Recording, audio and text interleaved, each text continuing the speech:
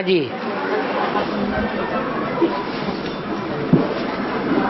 बाबा एक साल में जो बारह महीने? राशियाँ कितनी होती हैं? जिन राशियों में दुनिया के सारे मनुष्य मात्र विभक्त होते हैं। कितनी राशियाँ होती हैं? बारह। महीने होते हैं।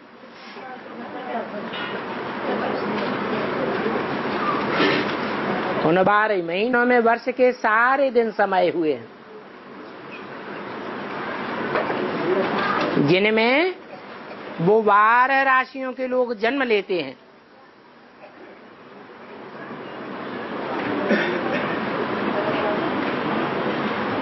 भगवान शिव के कितने ज्योतिर्लिंगम माने जाते हैं? बारह ज्योतिर्लिंगम में उसी आधार पर जितने भी धर्म पिताएँ आते हैं, जितने भी ब्राह्मणों की कुरिया बनाने वाले ऋषि हैं, उन ऋषियों के बारह बारह के ग्रुप हैं।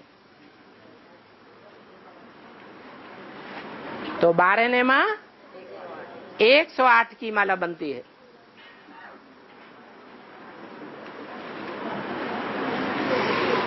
और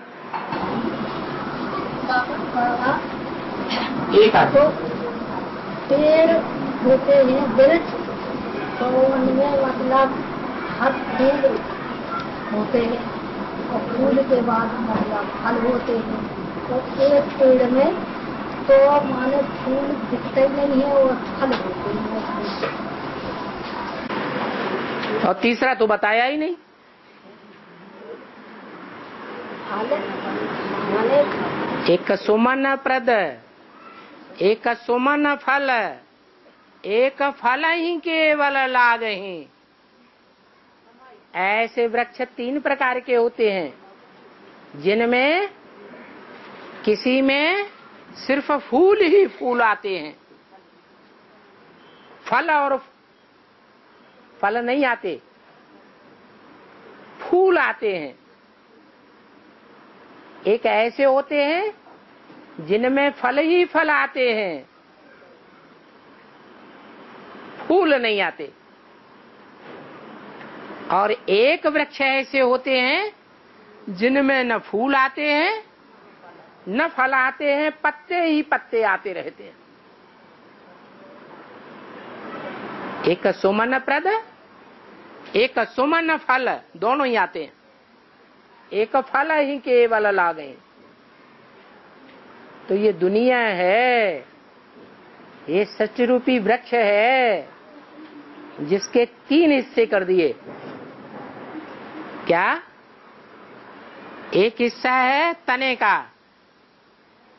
एक हिस्सा है जिसमें दाई ओर की डालियाँ निकलती हैं। और एक तीसरा हिस्सा है जिसमें बाई ओर की डालियाँ निकलती हैं। भगवान भी जब आते हैं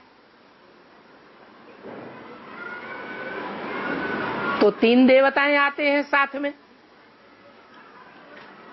एक देवता ऐसा है, देवता कहा तो जाता है, लेकिन उसमें न फल पैदा होते हैं, न फूल पैदा होते हैं। पत्ते ही पत्ते रह जाते हैं। तो कौन सा देवता है जिसकी पूजा नहीं होती है? ब्रह्मा की पूजा ही नहीं होती। क्योंकि न फल निकले और न फूल निकले। फिर रह गए दो। विष्णु और शंकर। वो दो प्रकार के हैं। एक तो भगवान माना जाता है। माना ही जाता है कि वास्तव में है ही। है भी। और एक भगवान कहा तो जाता है, विष्णु। लेकिन भगवान है नहीं। वो सोलह कला संपूर्ण देवता तो है, परंतु भगवान भगवान नहीं। शंकर में तो भगवान आते हैं साक्षात। इसलिए एक शंकर मात्र ही है, जिसका नाम शिव के साथ जोड़ा जाता है। न विष्णु का जोड़ा जाता है, और न ब्रह्मा का जोड़ा जाता है। हाँ। जीसस में क्राइस्ट की सोल प्रवेश करती है, और सिद्धार्थ में गौतम बुद्ध की सोल प्रवेश करती है नानक का भी बचपन का नाम दूसरा था। और नानक की सोल ने आके प्रवेश किया।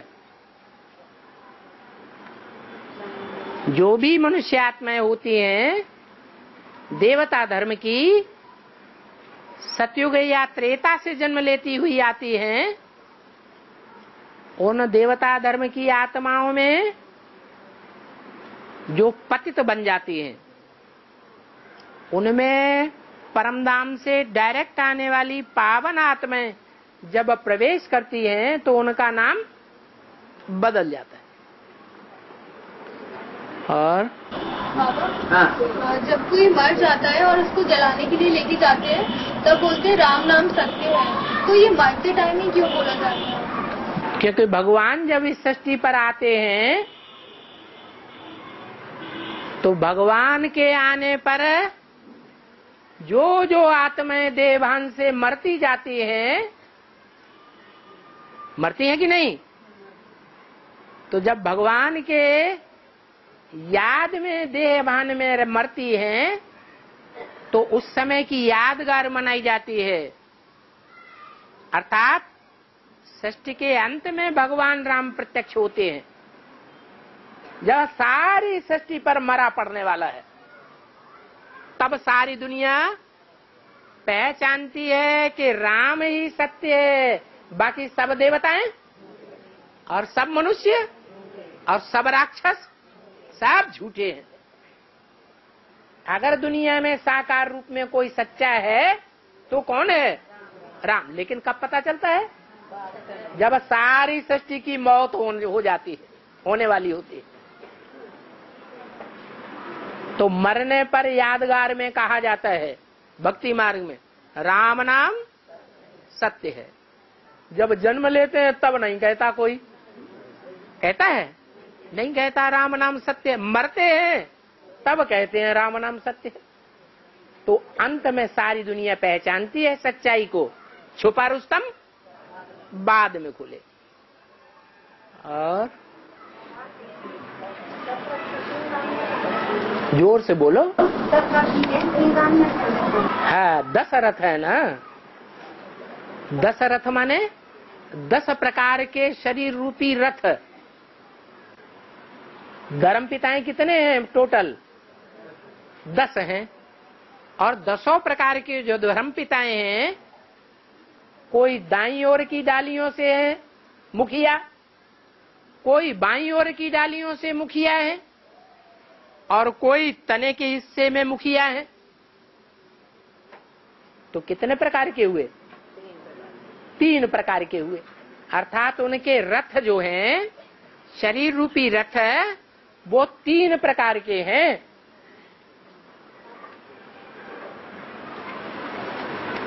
दशरथ के तीन रानियाँ थी।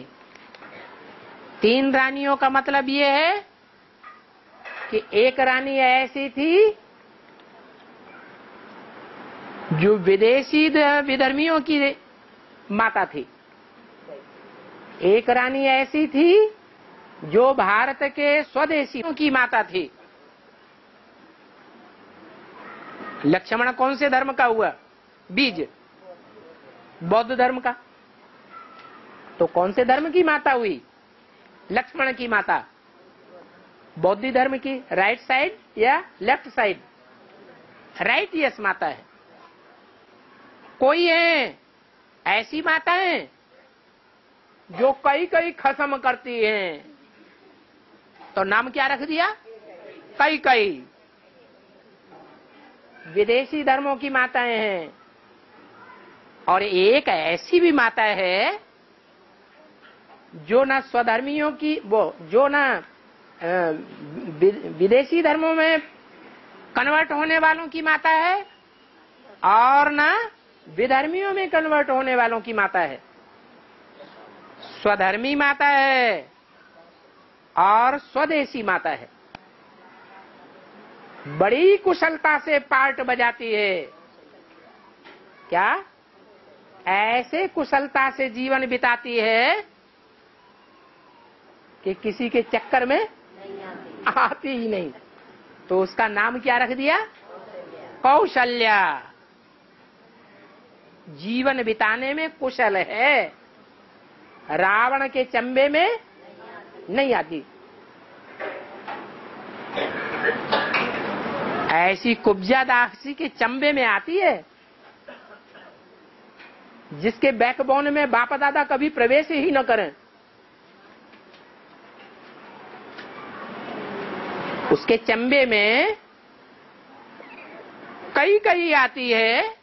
या कौशल्या आती है, कई कई आती है।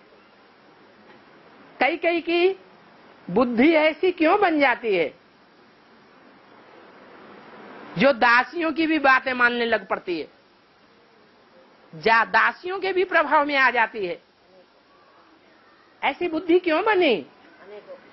अनेकों का खून पी लिया। तो खून ही खराब हो जाता है बुद्धि का। बेस्ट बुद्धि बन जाती है। तो नाम रख दिया? कई कई। इसलिए शास्त्रों में दिखाया है कि दशरथ को कितनी रानियाँ थी? तीन रानियाँ थी। और राम को? है? राम को एक रानी थी। माना राम अब विभिचारी था। और दशरथ विभिचारी था। अरे? तो क्या राम जो भगवान है भगवान के रूप में संसार में प्रत्यक्ष हुआ वो रावण का बच्चा था। है? दस सिर वाले दस रथ का बच्चा था। नहीं था। अरे? दस रथ कहा होगा? तो दस शीश भी होंगे ना। नहीं होते। अरे।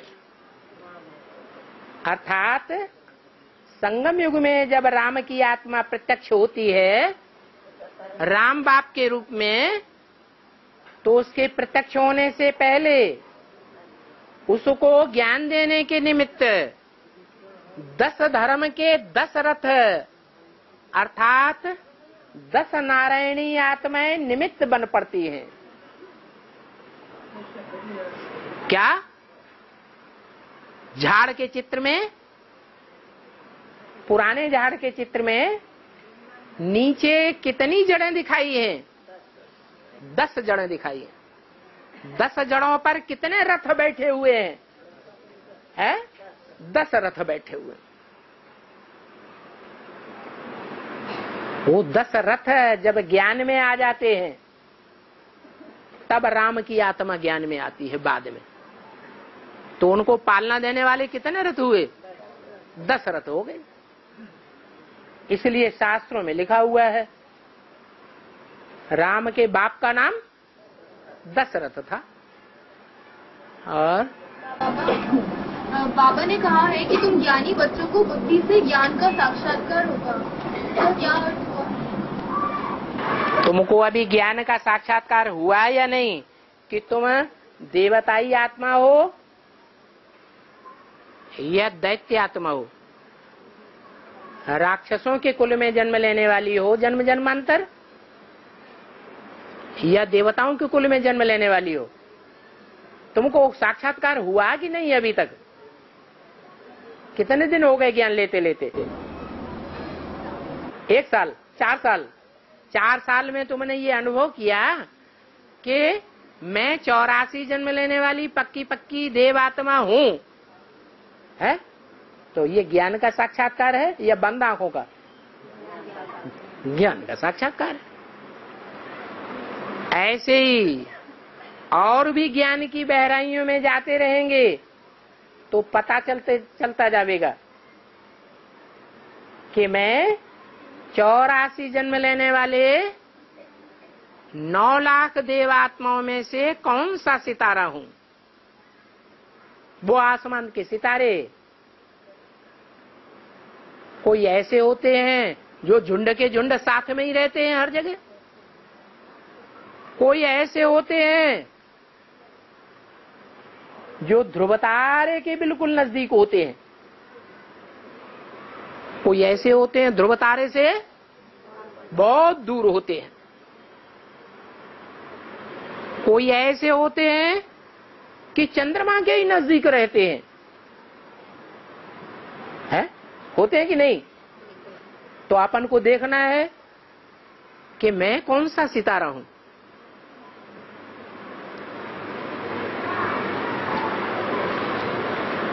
ज्ञान सूर्य का बच्चा जो ध्रुव तारा है,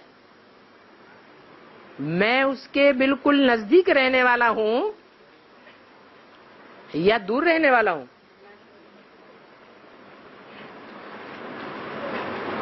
ये ब्राह्मण जन्म के संगमयुगी पार्ट से पता चल जाएगा। जो जन्म जन्मांतर है ध्रुव तारा अर्थात राम वाली आत्मा की तरह अटल निश्चय वाला होगा, अखंड होगा। उसके जो जन्म जन्मांतर नज़दीक रहने वाले होंगे, वो संगम युग में भी ज्ञान मिलने के बाद दुनिया की आत्माओं के अलावा, दुनिया की आत्माओं के मुकाबले, राम वाली आत्मा के नज़दीक रहकर प्रैक्टिकल में पार्ट बजावेंगे या दूर रहकर पार्ट बजावेंगे? दूसरों के नज़दीक रहकर पार्ट बजावेंगे। राम वाली आत्मा के नज़दीक रहकर पार्ट बजावेंगे। तो अपन को देखना है, मैं जन्म जन्मांतर कृष्ण के नज़दीक रहने वाली आत्मा हूँ या राम के नज़दीक रहने वाली आत्मा हूँ? राधा के नज़दीक रहने वाली आत्मा हूँ या सीता के नज़दीक रहने वाली आत्मा हूँ? अष्ट देवों के नज़दीक रहने वाली आत्मा हूँ या कौन सी आत्मा हूँ?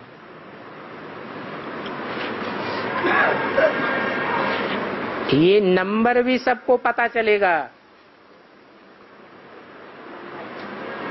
कि मैं कौन से नंबर का विशेष पार्टधारी हूँ। ये तो पक्का हो गया कि मैं ज्ञान सागर का बच्चा हूँ। ज्ञान सागर से डायरेक्ट जन्म लेने वाला हूँ। कि ये भी पक्का नहीं हुआ? क्या रे? और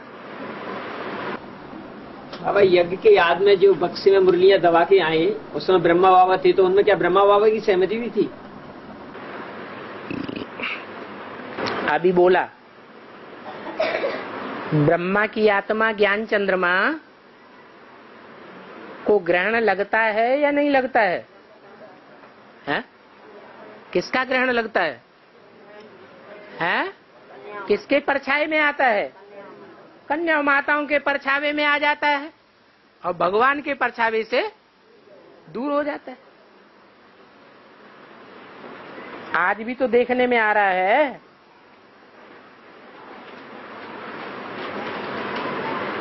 क्या देखने में आ रहा है? जो बच्चे होते हैं, वो माँ के ऊपर प्रभाव डालते हैं और माता बच्चों के प्रभाव में आ जाती है। पति का इतना प्रभाव नहीं रहता। गीता माता का भगवान कौन बनकर बैठ जाता है? कृष्ण बच्चा बनकर बैठ जाता है।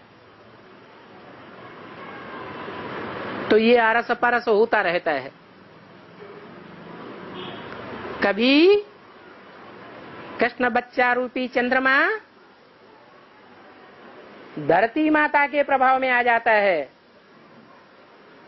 कभी धरती माता चंद्रमा के परछाई में आ जाती है। तो सूर्य ग्रहण समझने लग पड़ते हैं। क्या? एक तरफ़ सूर्य, बीच में चंद्रमा आ गया, परछाया धरती के ऊपर पड़ा।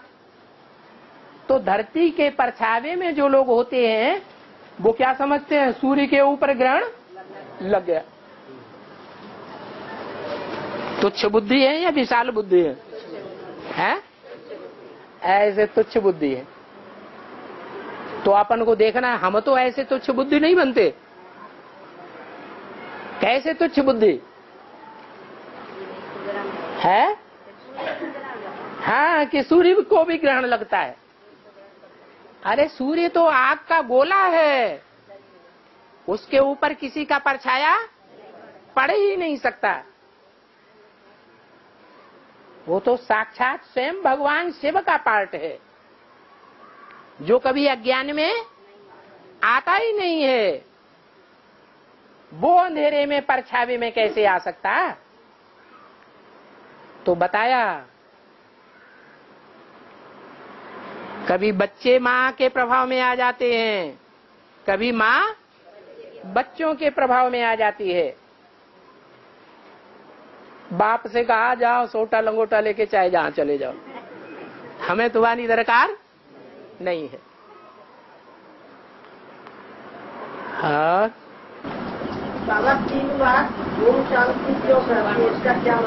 अच्छा तुम दस बार कह दो। तीन बार क्यों कहते हो? तेरह बार कह दो। हाँ। बाबा हाँ। बाबा ने एक मुरली में कहा कि लास्ट में जब सारी आत्मा धरती पर उतरती है तब ही राम रावण का पार्ट बजाता है। और फिर बाबा ने कहा कि परमधाम कभी खाली नहीं होता तो ये कैसे उतरने से पहले, उतरने से जस्ट एक सेकंड पहले, राम वाली आत्मा सिर्फ़ एक सेकंड के लिए रावण बनती है कि रावण लंबे समय तक दुख देता है हैं? रावण तो लंबे समय तक दुखदाई है ऐसे नहीं कि लास्ट वाली आत्मा जब उतरती है परम धाम से तब ही राम वाली आत्मा रावण बनती है। नहीं, रावण माने रुलाने वाला। क्या? रुलाने वाला।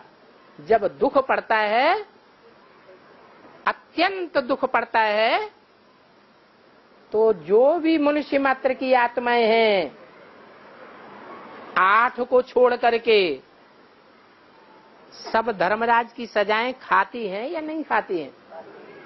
सरसों की तरह पिसती हैं या नहीं पिसती हैं? उस समय का गायन है कि राम क्या बन गया? रावण बन गया। रावण बन नहीं जाता है। लेकिन ऐसा समझने में आता है। और ये ठीक भी है। क्या? जो दुनिया के लिए सुखदाई होगा और जितना सुखदाई होगा, वो दुनिया के लिए उतना ही दुखदाई भी होगा। ये नियम है कि आत्माएँ भगवान नहीं है जो सदा सुखदाई हो। तो राम वाली आत्मा भी भगवान है क्या? भगवान है या बड़े से बड़े देवता बनती है? वो तो बड़े से बड़ा देवता महादेव है। भगवान नहीं है। वो भी दुख देने वालों की लिस्ट में आता है कभी या नहीं लाता है?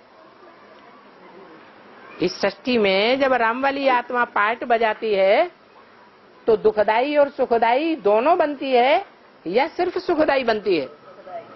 है? सुखदाई भी बनती है और दुखदाई भी बनती है। सबसे जास्ती सुखदाई भी, भी वो है और सबसे जास्ती दुखदाई भी वो बनती है। और? बाबा जो राम ही रावण का पार्ट है वो अष्टदेव की प्रत्यक्षता के साथ साथ चलेगा। जुड़ा हुआ है। और? ग्रहण पड़ता है। उसको अछूत मानते हैं सब। वो उसमें तुलसी दल हर चीज़ में डालते हैं दूध में दही में पानी में खाना में सब कुछ डालते हैं और फिर वो नहाते धोते हैं और वो वो समझ गए समझ गए। हमारी आत्मा को विकारों का ग्रहण लगता है कि नहीं लगता है, है? जब विकारों का ग्रहण लगता है तो छीछी होते हैं कि नहीं? छीछी होते हैं कि सुंदर बनते हैं। पतित बनते हैं कि पावन बनते हैं? पतित बनते हैं तो नहाना चाहिए कि नहीं? है? हाँ। तुलसी दल डालो, भगवान का भोग लगाओ, तुलसी दल का पहले भोग लगाओ। क्या? तो अपना तन अर्पण करो, अपने बाल बच्चों का तन अर्पण करो। किसको अर्पण करो? तुलसी मैया की अध्यक्षता में। तुलसी का पत्ता भगवान को भोग पहले लगाते हैं कि नहीं? तो यही बात है। भगवान जब आते हैं तो कहते हैं कि जब राम कृष्ण की आत्माओं को तुम कहते हो, ग्रहण लग रहा है। वो ग्रहण जब तक नहीं छूटेगा, तब तक हमारी आत्मा के ऊपर से भी ग्रहण विकारों का नहीं छूटने वाला है। इसलिए दे दान तो छूटे ग्रहण। किसको दान देना है? है? ब्रह्मा, माँ जो प्रैक्टिकल में अभी पार्ट बजा रही है, उसको योग बल का दान देना है, ताकि माया के ग्रहण से, माया के पंजे से छूट जाए। और कृष्ण वाली आत्मा को भी? हाँ जी। हनुमान जी क्या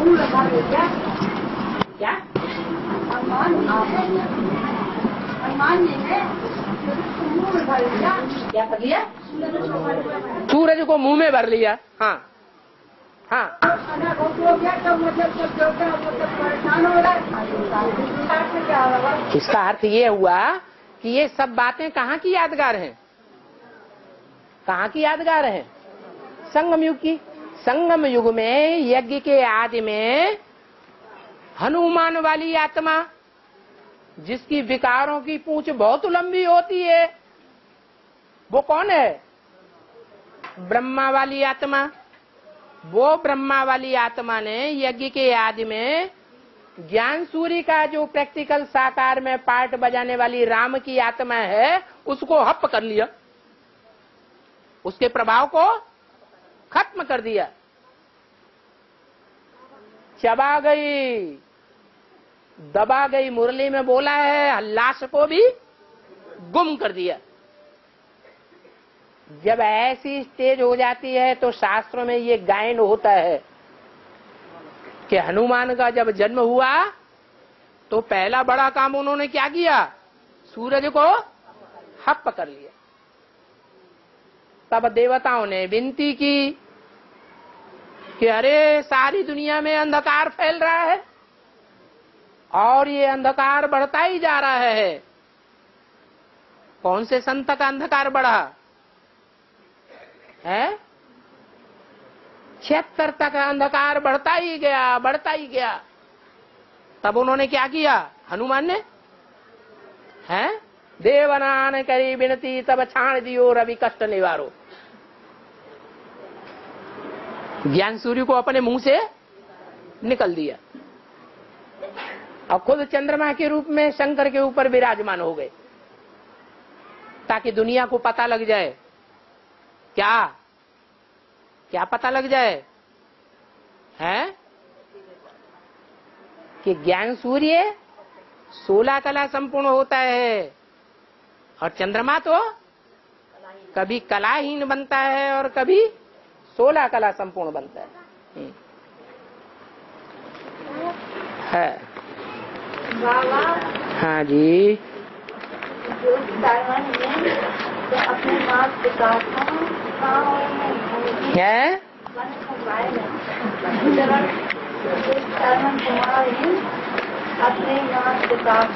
है। कांवर में रख करके चक्कर लगाया और आज भगत लोग कांवर में जल रख करके, हैं, जल को, जल का घड़ा बना, बनाते हैं और उसे दोनों कांवर में कंधे पर रखते हैं और तीर्थों के चक्कर लगाते हैं।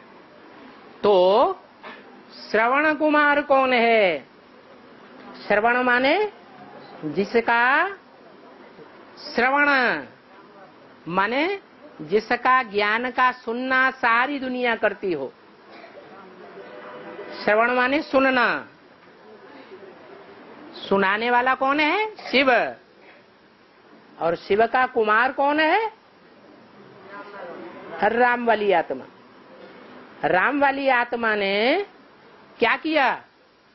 कि अपने अंधे माँ बाप को कंधे पर रख करके सारे भारत के तीर्थों में चक्कर लगाया। तो अंधे कौन है? हैं? ब्रह्मा और उनकी साथी सरस्वती वाली आत्मा। वो ज्ञान के अंधे हो गए। उनको अपने शरीर में प्रवेश करा के वो श्रवण कुमार अर्थात राम वाली आत्मा सारे भारत में चक्कर लगा रही होगी। उसकी यादगार में ये कथा कहानी बनाई दी। और? सीता सीता को बताती हैं सीता को कि वनवास पूरा करके लौट के आई। कि धोबी की वजह से उनको फिर से वनवास करना पड़ा। हाँ। हाँ। अभी सीता को रावण ले गया कि नहीं? सीता का पार्ट किसका है? है? तुम सब सीताएँ हो। तुम सब सीताएँ रावण की जेल में हो। लेकिन नंबरवार सीताएँ हो कि सब अव्वल नंबर हो? तो अव्वल नंबर सीता कौन है? जिसको रावण ले गया अभी प्रैक्टिकल में। जगदम्बा। जगदम्बा? किसकी अम्बा है? सारे जगत के हिंदू, मुसलमान सिख ईसाई चोर लंगे लुपच्चे सबकी अम्बा है। तो जो गंदे बच्चे होंगे, वो माँ को अपने प्रभाव में रखेंगे या बाप के प्रभाव में रखेंगे। तो उन बच्चों ने, रावण संप्रदाय के बच्चों ने माँ को अपने कंट्रोल में ले लिया किडनैप कर लिया। तो अव्यक्तवाणी में बाप दादा बोलते हैं, बच्चे पूछते हैं, बाबा, जगदम्बा कहाँ है? तो बाबा क्या कहते हैं जगदम्बा अभी घूंघट में है। रावण ले गया। तो सुनो तो जब रावण ले गया तो रावण से जगदम्बा छूटती है सीता छूटती है कि नहीं? है? छूटती तो है। जब छूट जाती है तो अग्नि परीक्षा ली जाती है।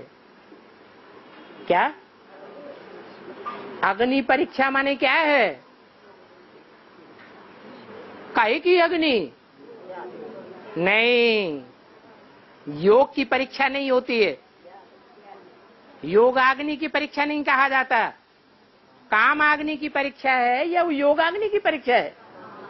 हाँ तो काम अग्नि की परीक्षा में डाली जाती है। तो सोना बन के निकलती है या कचड़ा बन के निकलती है? सच्चा सोना बन के निकलती है। इसलिए पूजा होती है।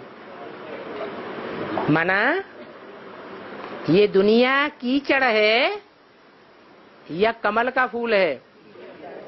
कीचड़ है। उस कीचड़ में वो घर ग्रस्त की कीचड़ में।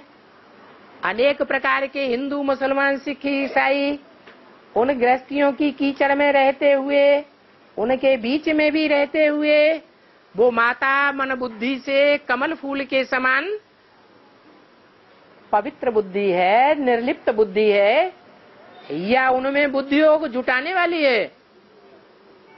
क्या है? पवित्र बुद्धि है।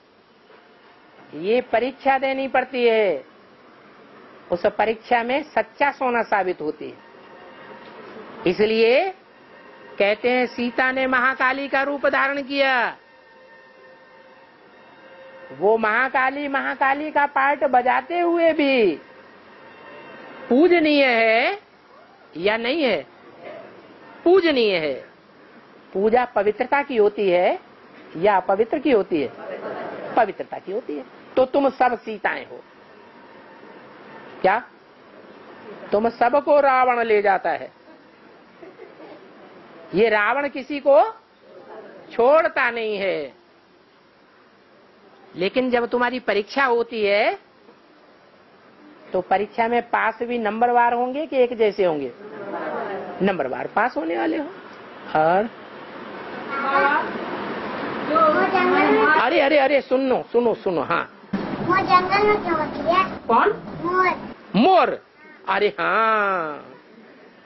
ये जो मोर है इस मोर की क्या बात हिंदुस्तान में अभी प्रसिद्ध है? जंगल में मोर नाचा किसने? नहीं। अपने हिंदुस्तान में मोर पक्षी जो है वो भारत का राष्ट्रीय पक्षी माना जाता है।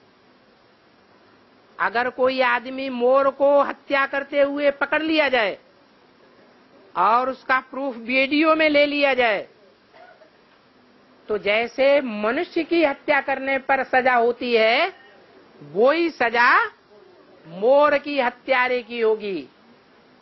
इतना मान पक्षी को क्यों दिया गया? पक्षी में बुद्धि होती है क्या इतनी? है?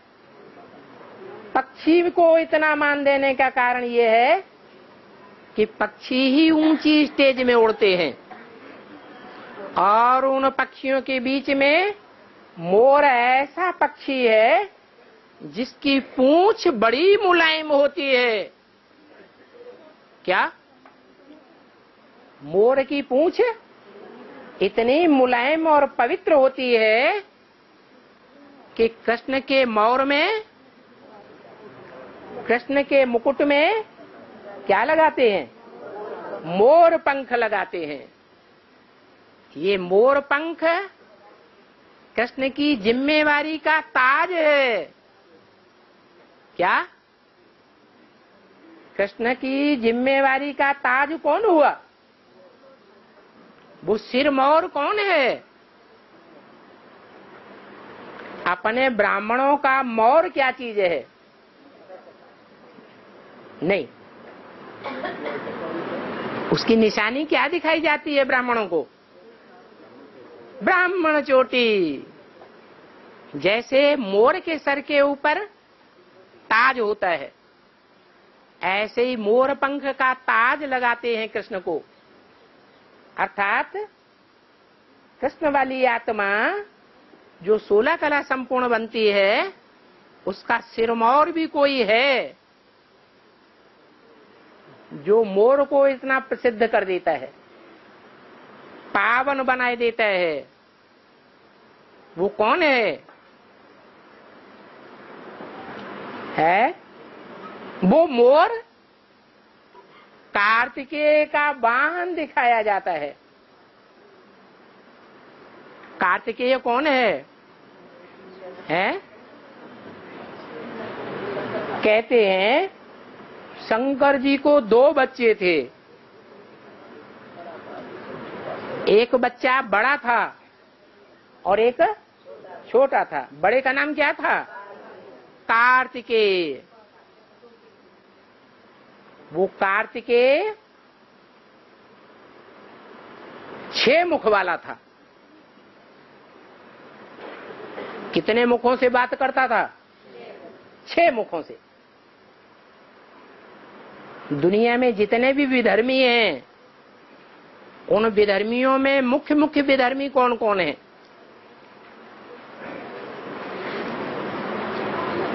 जिनका दुनिया में राज्य भी चलता है। इस्लामी, बौद्धि, क्रिश्चियन, सन्यासी, मुस्लिम और सिख, यहाँ तक राज्य चलता है। तो ये छह धर्मों के छह माताएँ हैं,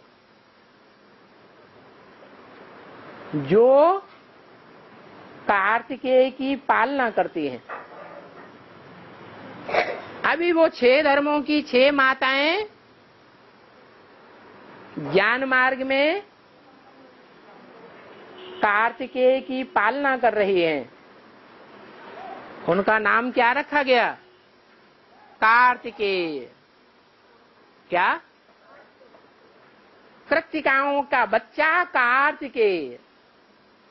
ब्रह्मा का बच्चा ब्राह्मण। विष्णु का बच्चा वैष्णव। शिव का बच्चा शैव। ऐसे ही कृतिकाओं का बच्चा कार्तिक। वो कृतिकाएँ जो कर्म करती है। उन कर्मों की तिक तिक करने वाला बच्चा है। ज्ञान की तिक तिक नहीं करता है। क्या करता है? हैं? फालतू की बातों को कहते हैं तिक तिक बहुत करता है। ज्ञानी गणेश को माना जाता है या कार्तिकेय को माना जाता है? गणेश को माना जाता है। गणेश माँ बाप को फॉलो करके प्रवृत्ति मार्ग में रहता है। और कार्तिकेय? है? निवृत्ति में चला जाता है। दक्षिण भारत में चला जाता है। दक्षिण भारत को बाबा ने बोला है, भारत का विदेश। तो विदेशियों का मुख, मुखिया हो जाता है। क्या? विदेशियों का मुखिया। और वो गणेश, स्वदेशी देवताओं का मुखिया हो जाता है। तो कार्तिकेय किसकी सवारी करता है? मोर की सवारी करता है। ये उसी समय का कार्तिकेय का विशेष गायन है। जब उसने मोर के ऊपर भी सवारी कर ली, वो मोर का पार्ट बजाने वाली कौन सी आत्मा है? संगम युगी कृष्ण है या सतयुग का कृष्ण है? संगम युगी कृष्ण है, जो कृष्ण के मस्तक में मोर का पार्ट बजाता है। सबसे अच्छा डांस किसका लगता है? मोर का डांस, कौन से डांस की बात है? ज्ञान डांस की बात है।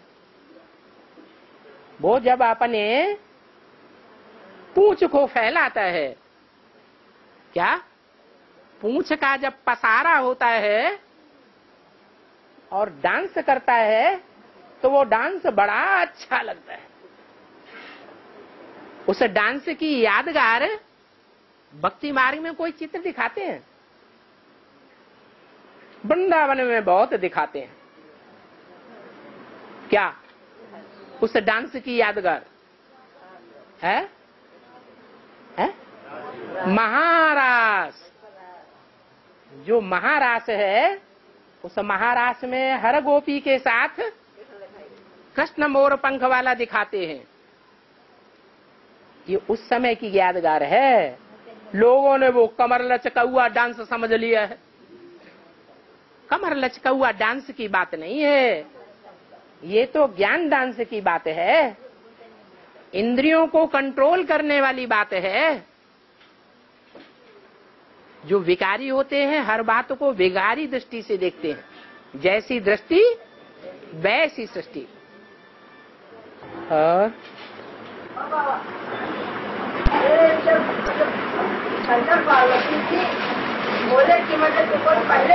हाथ तो उठा दो किधर से बोल रही अंधेरे में से। छुप के बैठ गई। है? हाँ। तो उन्होंने कहा कि सुबह पहले चक्कर लगा के आ जाएगा। उसको मैं अपना रात से दूँगा। हाँ? तो गणेश जी बोले कि मेरे सबसे छोटा भगवान है तो मैं कैसे चक्कर लगाऊँगा हाँ? उन्होंने माता पिता को हाँ। और उन्होंने मतलब हाँ? इसका मतलब बाबा इसका मतलब यही है कि गणेश की तरह पार्ट किसका है? बहुत बड़े बड़े कान वाला है। कौन सा जानवर होता है बड़े कान वाला? हाथी। हाथी को जितने बड़े कान होते हैं, उतने बड़े कान और किसी जानवर को नहीं दिखाते हैं। है? वो बड़े कान वाला शास्त्रों में किस नाम से पुकारा गया है? कहते हैं, वो बड़े कान वाले ने कौरवों की तरफ़ से युद्ध किया था या पांडवों की तरफ़ से युद्ध किया था? है? बड़े कान वाले, कर्ण ने। कर्ण ने कौरवों की तरफ़ से वो क्या कहते हैं, युद्ध किया था। उसके कान बड़े तीखे थे। उसको कुंडल किससे मिले थे? वो ज्ञान सूर्य ने उसको कुंडल और कवच दिया था। कवच है याद का। और कुंडल है ज्ञान सुनने के। सबसे पहले ज्ञान कौन सुनता था? हैं? ब्रह्मा की आत्मा। वो ही कारण है। वो सबसे जास्ती ज्ञान सुनती थी। इसलिए वो महारथी है, हाथी रूपी। उसी की यादगार है गणेश। कौन सा मुख है? हाथी का मुख है। बहुत ज्ञान सुनता है और बहुत ज्ञान सुनता है। और पेट? छोटा दिखाते हैं कि बड़ा? किस बात की यादगार? है? अरे बुद्ध रूपी पेट बहुत बड़ा है। इतना बुद्ध रूपी पेट बड़ा है कि कार्तिकेय ने तो सारी दुनिया का चक्कर लगाया। और उसने क्या किया? अपने माता पिता का चक्कर लगाया और पास हो गया। पहचान के चक्कर लगाया होगा या पहचानने से पहले ही चक्कर लगाया होगा? जब पहचान लिया पहचान लिया कि मैं कृष्ण की आत्मा हूँ सतयुग में जन्म लेने वाली। और मुझको जन्म देने वाले माँ बाप शंकर पार्वती ये हैं। तो उनका चक्र लगाया। बस। पास हो गया। उसकी यादगार शास्त्रों में दिखाई दी है। और? हाँ। ये लव किसका है? हम्म, माने क्या? शास्त्रों में नाम किस आधार पर दिए? काम के आधार पर नाम दिए। लव माने क्या? है? लव माने प्यार। और उसका उल्टा हो गया, कुश। कुश माने कांटा। एक घास होती है, जिसमें बड़ा तीखा कांटा होता है। उसका नाम होता है कुश। कुशाग्रास। तो दो बच्चे थे। राम को दो बच्चे हुए। कौन कौन से? लव और कुश। राम कौन से युग का नाम है? त्रेता का नाम है। लव या कुश? नहीं। ये तो राम जब अंतिम समय में थे। तब उनसे दो बच्चों की पैदाइश हुई। माने त्रेता के अंत में कौन से दो धर्म पैदा होते हैं? जो देह का प्यार करने में बड़े तीखे हैं और कांटा लगाने में भी बड़े तीखे हैं। एक इस्लामी और दूसरे क्रिश्चियन। क्या? ये क्रिश्चियंस बड़े दुखदाई हैं। और इस्लामी देह का प्यार करने में सबसे आगे जाते इनका कोई बीज रूप बाप होगा कि नहीं होगा? है? कौन है बीज रूप बाप? है? सब कुछ राम की आत्मा। ब्रह्मा बाबा। ब्रह्मा बाबा कैसे? त्रेता के अंत में अभी बताया, कौन से दो धर्म हैं जो लव और कुश का काम करते हैं? इस्लाम धर्म की बीज रूप आत्मा कौन? लब और क्रिश्चियन धर्म की बीज रूप आत्मा कौन? कुश। क्राइस्ट की बीज रूप। उनका ही नाम शास्त्रों में दिखाया है कि जब ब्रह्मा के पहले चार पुत्र पैदा हुए, मानसी पुत्र तो चार धर्मों के मुख्य चार बीज हुए। राम, लक्ष्मण, भरत और शत्रुघ्न। राम, लक्ष्मण तो स्वदेशी हो गए। और भरत और लक्ष्मण भरत और किसी वो शत्रुघ्न?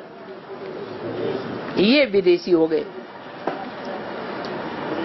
राम के द्वापुर युगी, इन्हीं दो पुत्रों का नाम लक्ष्मण नहीं, शत्रुघ्न और भरत के रूप में प्रत्यक्ष हुआ।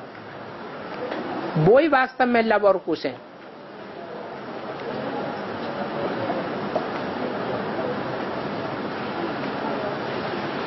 और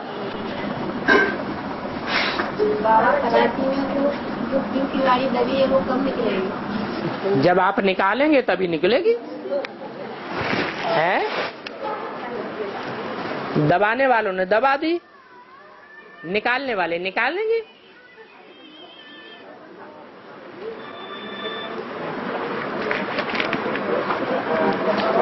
बाबा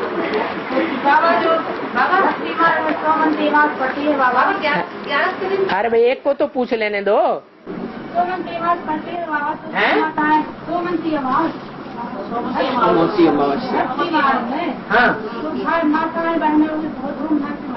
इसको मोती अमावस्या। सोमवती अमावस्या। अमावस्या की रात को क्या होता है? हाँ हाँ। सोमवती अमावस्या के दिन सोमवार होता है। वार कौन सा होता है? वारी किसकी होती है? सूर्य की वारी होती है कि सोम रूपी चंद्रमा की वारी होती है। चंद्रमा की बारी होती है। कहते ना अच्छा भाई, अब हमारी बारी है। तो चंद्रमा की बारी होती है। उसको कहते हैं सोमवती। और अमावस्या अंधेरी रात होती है कि उजेला होता है? अम्मा कहाँ बस गई आके? हैं? अंधेरी रात्रि में आकर के बस गई। तो जब ऐसी अंधेरी रात्रि होती है, उसका निराकरण क्या होता है?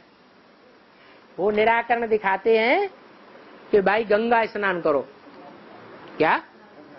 अभी गंगा प्रत्यक्ष हुई है या गुप्त है? अभी भी गंगा गुप्त है। गंगा गुप्त से जब प्रत्यक्ष होगी तो सोमवती अमावस्या की रात्रि होगी। रात्रि के बाद फिर उजेला शुरू होगा। और? ऐसा मतलब ये कोई घर में तुम्हारे घर में देवी देवता मंगल रहा है तो गंगा को स्नान कराया तो शांति मिल जाएगी। क्या क्या समझ रही है आप ज्ञान में आ गए। आप जानते हैं इस दुनिया में कोई देवी देवता है कि सब राक्षस हैं? दुख देने वाले को राक्षस कहा जाता है। हो, है हाँ हाँ। तो वो दुख देने वाले हैं या सुख देने वाले? तो गीता पाठ करवाओ उसके घर में। अरे वो जो दे रहे हैं वो दुख दे रहे हैं या सुख दे रहे हैं? तो दुखदाई राक्षस है ना? उन दुखदाई राक्षसों से मुक्ति तब मिलेगी जब उनको ज्ञान की गंगा में स्नान कराया जाएगा। तो जो जो भूत प्रेत आत्माएँ हैं उनसे भी डरने की ज़रूरत नहीं है। उनको भी ये ज्ञान सुनने दो। वो रुद्रमाला के मणकों में प्रवेश होकर के ज्ञान सुनेंगी और उनका भी उद्धार हो जाएगा। नहीं तो उनको तो अपना शरीर है ही नहीं। उनका उद्धार कहाँ से होगा? किससे होगा? तो बच्चे के ऊपर माता आती है कहती है तुम्हारे घर में ये कर दूँगी ये कर दूँगी ये कर दूँगी। बच्चे के ऊपर माता आती है। माता देवी होती है या दैत्या होती है? अच्छा वो सुख देती है। देवी उसे कहा जाता है जो सुख दे। वो सुख देती है या धमकी देती है? ऐसा कर दूँगी वैसा कर दूँगी। धमकी देने वाली दैत्या है कृत्या है या देवी है? फिर? तो है तो हाँ इसका मतलब ये है कि वो आत्मा देवान में सबसे जागती पार्ट बजाने वाली है। क्या? सृष्टि का पहला पत्ता कौन है? कृष्ण वाली आत्मा, ब्रह्मा वाली आत्मा। वो पहला पत्ता है। देहभान में, इस सृष्टि में, जब सृष्टि की शुरुआत होती है तो पहले पहले देहभान में कौन आता है? कौन सी आत्मा है जो पहले नंबर में देहभान में आती है? हैं? पहले नंबर में देह कौन धारण करती है? कृष्ण वाली आत्मा। तो देह सबसे बड़ी दिखाई गई। और देह इतना बड़ा विशाल देह है, और सवारी ऐसे में करती है, जो प्रसिद्ध है। वो जानवर किस बात के लिए प्रसिद्ध है? कि अंदर ही अंदर सारे घरों को खोखला कर देता है। ऐसों में प्रवेश करती है। अभी ब्रह्मा वाली आत्मा बाप दादा के रूप में पार्ट बजाए रही है या नहीं बजाए रही है? बाप दादा तुम बच्चों में प्रवेश करता है या शिव बाप तुम बच्चों में प्रवेश करता है? बाप दादा प्रवेश करते हैं। जिन बच्चों में प्रवेश करते हैं, उनमें प्रवेश करके बाप दादा सेवा करते हैं, या तुम बच्चे सेवा करते हो? तो बाप दादा प्रवेश करके जो सेवा करते हैं, वो चूहे की तरह सेवा करते हैं। जिन ब्राह्मणों घरों में जाएँगे, वहाँ नीचे ही नीचे, अंदर ही अंदर सारा खोखला कर देंगे। सब एडवांस ज्ञान में आने लग पड़ेंगे। बाद में ब्रह्मा कुमारियों को पता चलेगा, अरे हमारा घर तो खोखला हो गया।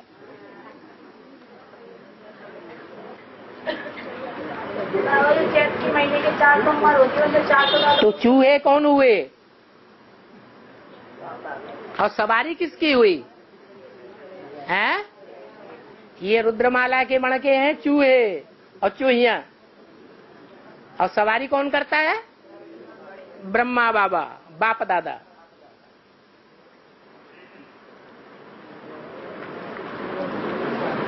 अनुभव होता है कि हमने किसी के घर को खोखला कर दिया। है? जिसका घर खोखला हो, उसको अनुभव होगा। किसका घर खोखला हो जाता है? ब्रह्मा कुमारियों का? या प्रजापिता ब्रह्मा कुमारियों का? है? ब्रह्मा कुमारियों का घर खोखला होता है तो उन्हें चूहे का पता चल जाता है। फिर चूहों को पकड़ती है। क्या? तो उन्हें हमारा घर खोखला कर दिया। हाँ। और? है।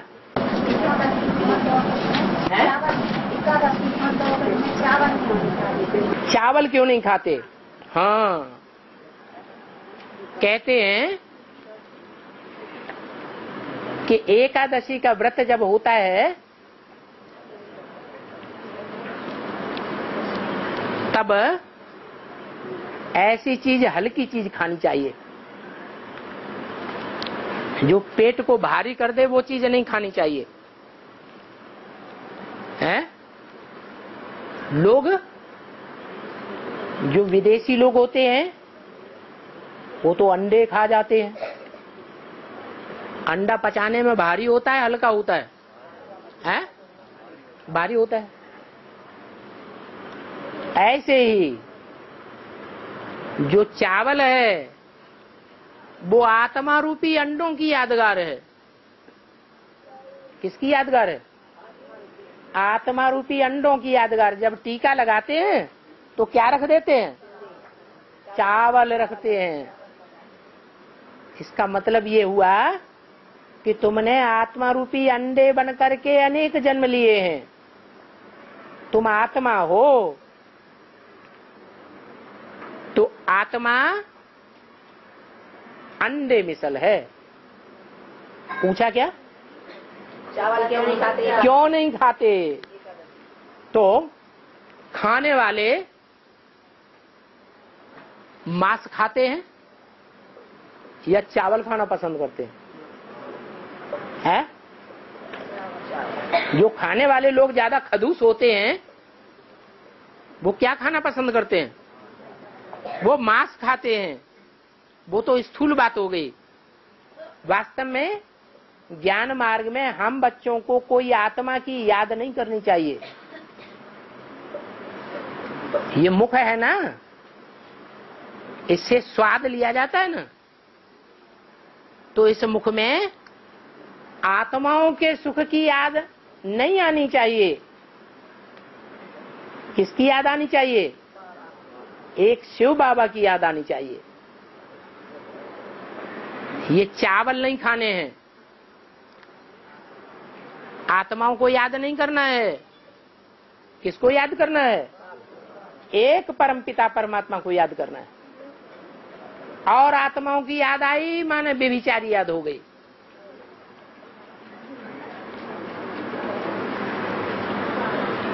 और? साढ़े चार लाख आत्माएँ हैं जो डायरेक्ट सतयुग में जाएँगी। इसी शरीर से सतयुग में जाएँगी। कितने? साढ़े चार लाख हाँ। और जब ज्ञान बाढ़ आएगी तब सिर्फ़ 108 आत्माएँ तैर पाती हैं बाकी सारी डूब जाती हैं। फिर ये बची वाली कैसे हाँ? तो ये जो बची जो डूबी जाती है फिर वो कौन कैसे डूब जाते हैं? एक सौ आठ तो सिर्फ़ तैर पाती है। तीन सौ आठ? एक सौ आठ ज्ञान बाढ़ में तैर पाती है। नहीं साढ़े चार लाख सब तारू हैं। साढ़े चार लाख जो देवभान का छिलका त्यागती हैं आत्मिक स्थिति धारण करती हैं, वो सब तैरने वाली आत्माएँ बनती है। ये सृष्टि के पहले जन्म की आत्माएँ हैं, या अंतिम और बीच वाले जन्मों की आत्माएँ हैं। फ़र्स्ट डिनेस्टी है या बाद वाली डिनेस्टी है? तो जो फ़र्स्ट डिनेस्टी की आत्माएँ होंगी, प्रजा होगी, उसमें भी कोई खसूसियत होगी? दूसरी आत्माओं के मुकाबले या नहीं? है? क्या? वो नौ लाख सितारे जिनमें साढ़े चार लाख दिन में नहीं चमकते हैं। कौन से चमकते हैं? रात वाले साढ़े चार लाख सितारे। वो रात में जो साढ़े चार लाख सितारे चमकते हैं, वो ज्ञान के सितारे हैं। चमक मारने वाले सितारे वो ही रात्रि के अंधकार में डूबते भी हैं। वास्तव में जो दिन के सितारे हैं, वो डूबते नहीं हैं, बल्कि अपने प्रकाश को सूर्य के प्रकाश में मर्ज कर देते हैं। क्या करते हैं। मर्ज कर देते हैं, अपना नाम बाला नहीं करते, अपने बाप का नाम बाला करते हैं। बाप का नाम रोशन करते हैं, अपना नाम रोशन नहीं करते। तो उनकी ये यादगार है कि वो तैरते रहते हैं ज्ञान जल में। डूबते डूबते नहीं। है। ज्ञान में आते सबसे चाहते बहुत चाहते हैं कि आप सभी भी लेकिन वो आप सभी भी क्यों नहीं कर पाते? हैं आप क्यों नहीं कर क्योंकि क्योंकि कथनी और करनी अलग अलग रहती है। कहते हैं ये सब कुछ भगवान का है। क्या? ये तन ये मन ये धन जेब में जो है बैंक में है वो सब भगवान का है। लेकिन देखने में दूसरों को ये आता है, अरे ये तो दिया नहीं है, ये तो वापस मांग रहे हैं, ले रहे हैं। दिए हुए के ऊपर भी हक जमा रहे हैं। तो अवस्था खराब होगी, अच्छी बनेगी। दिया हुआ अगर कोई वापस मांगने लगे, उसके ऊपर अधिकार जमाने लगे तो चांडाल की शूटिंग होती है, या ऊँचे कुल की शूटिंग होती है। चांडाल बन जाता है, उसकी बुद्धि भ्रष्ट हो गई। जो भ्रष्ट बुद्धि हो गई उसका पुरुषार्थ अच्छा होगा या महाराजा का पुरुषार्थ होगा? है? हाँ और फिर झूठ भी बोल लेते हैं। कहते हैं, हमारे ऊपर कभी ऐसा भाव नहीं आता। अब उनके संसर्ग संपर्क वालों से पूछो तो कहेंगे हाँ ये तो बात ऐसे ही है।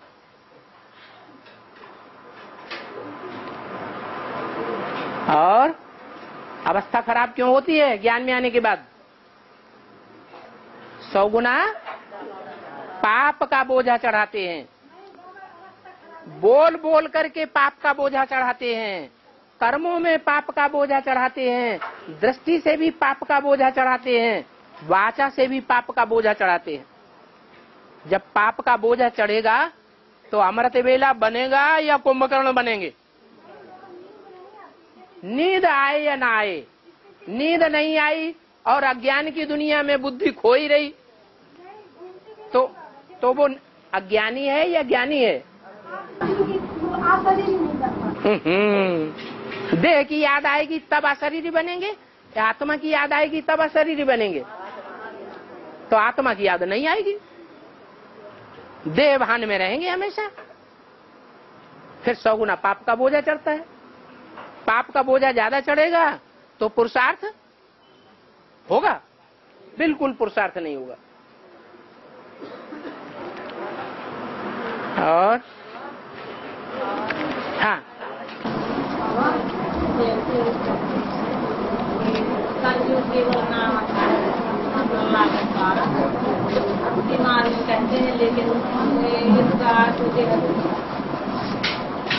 भक्ति मार्ग में काम करते हैं।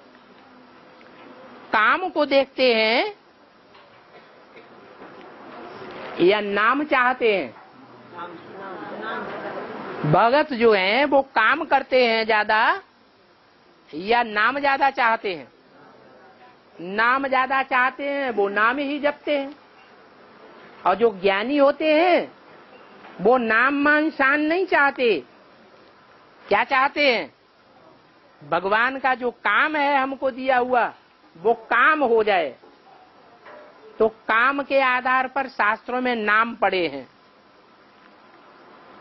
भक्त लोग भगवान का नाम जपते हैं, लेकिन ये नहीं जानते कि भगवान का नाम हम जो जपते हैं, इसके पीछे राज क्या है जो भगवान ने काम किया है। वो भगवान के काम को नहीं जानते। भगवान आता है, बताता भी है तो भी ध्यान नहीं देते कि भगवान आकर के क्या काम करता है। जो उसका नाम सारी दुनिया जपती है, उन देवताओं ने क्या काम किए? जो भारत के लोग उन देवताओं की पूजा करते हैं। ज़रूर उन देवताओं ने पवित्रता को धारण किया है। तब उनकी पवित्रता को पूजा जाता है। भगत लोग इन बातों को नहीं जानते। ओम शांति। बस।